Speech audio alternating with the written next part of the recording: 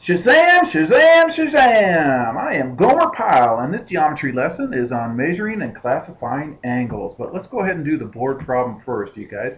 So this would be board problem number four, so solve each equation.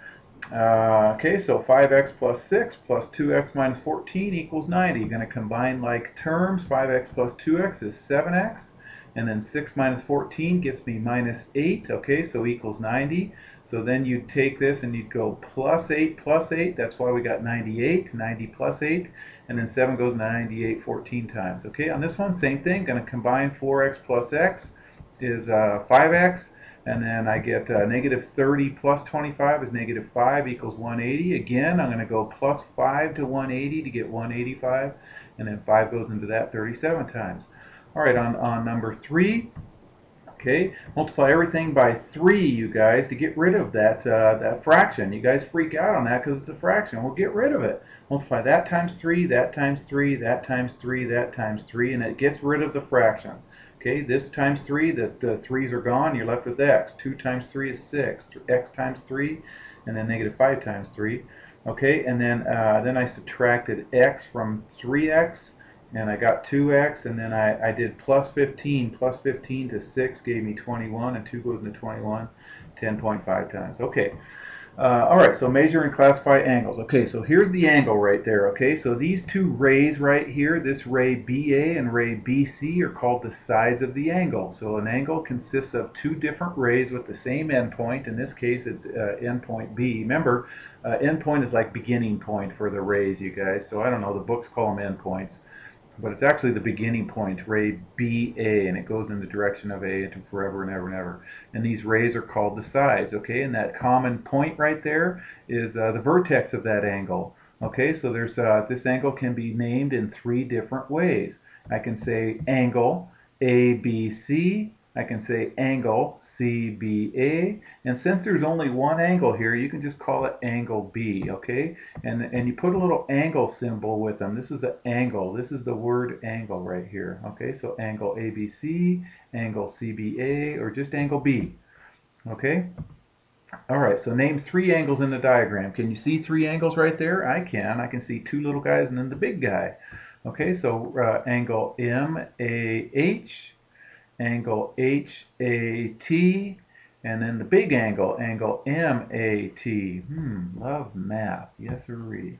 Okay, so that's what that says. And you can't say angle A here because angle A, uh, there are three different angles uh, at the vertex A. So when there's more than one angle, you can't just say it's single letters. you got to say several letters right there. All right, uh, let's see.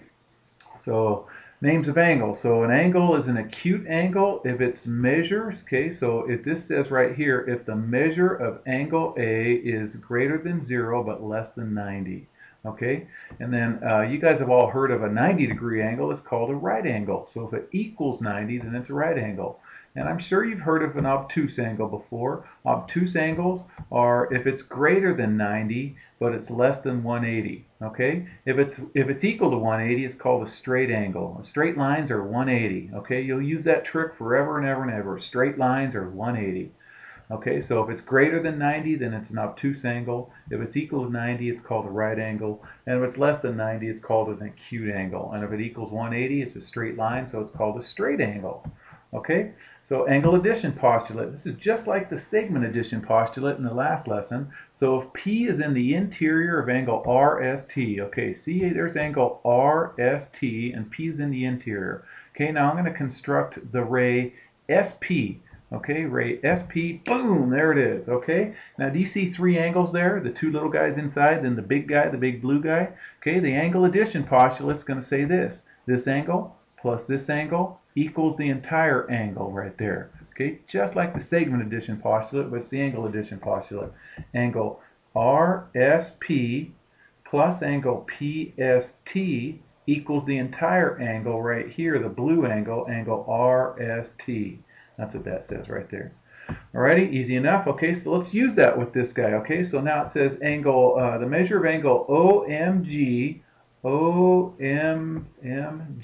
that's the big angle, Okay, it equals 72 degrees.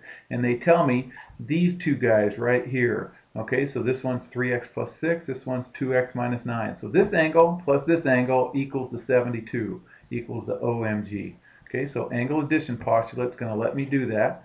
Okay, I'm going to combine like terms. 2x plus 3x is 5x, and then minus 9 plus 6 is minus 3. I'm going to get rid of this minus 3 by doing plus 3 to 72. So you get 75, and then 5 goes in there 15 times.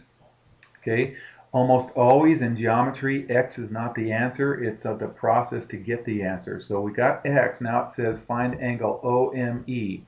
Okay, OME is this 3x plus 6. And GME is GME is this 2x minus 9. So I'm going to plug in 5, x equals 5 into both of those. And uh, I get 51 degrees for OME and 21 degrees for uh, GME. Notice 51 plus 21 does equal that 72 right there. Okay, and if you were in my class, this would be your homework assignment.